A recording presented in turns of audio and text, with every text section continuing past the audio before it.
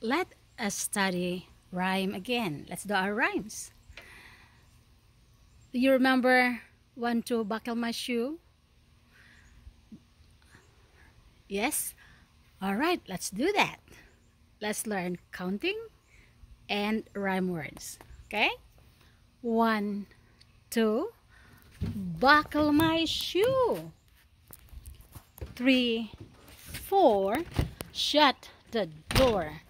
Five, six, pick up sticks. Seven, eight,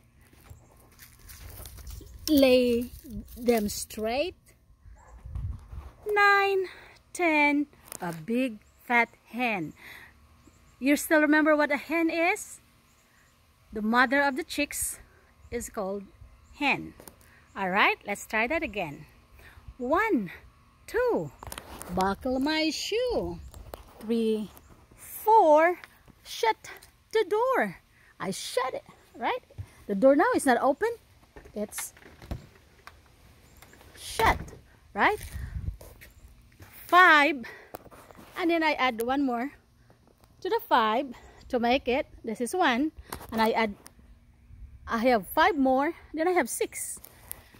Pick, pick up, sticks, seven, eight. I laid them straight. Nine, ten. This is five, and this is five, and together I have ten. Nine, ten. A big fat hen.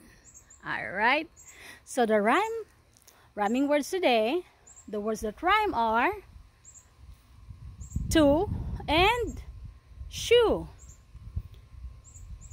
Four and what did I what did I shut today? You're right, door.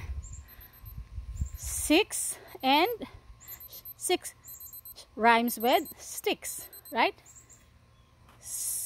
Uh, eight and straight, yes, they rhyme. What rhymes with word rhymes with 10? You are right. Hen rhymes with 10. Alright, let's do it one more time.